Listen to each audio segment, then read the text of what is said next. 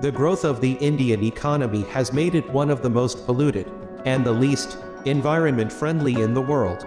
Electric cars, or EVs, could be the answer to this problem. Because of their many advantages, electric vehicles are gaining in popularity in India. First, compared to conventional gasoline and diesel cars, EVs are better for the planet. They produce fewer greenhouse gases, which benefits local air quality and people's health. Second, unlike traditional vehicles, charging an EV is more cost-effective. Furthermore, electric vehicles offer a quieter and more relaxing ride.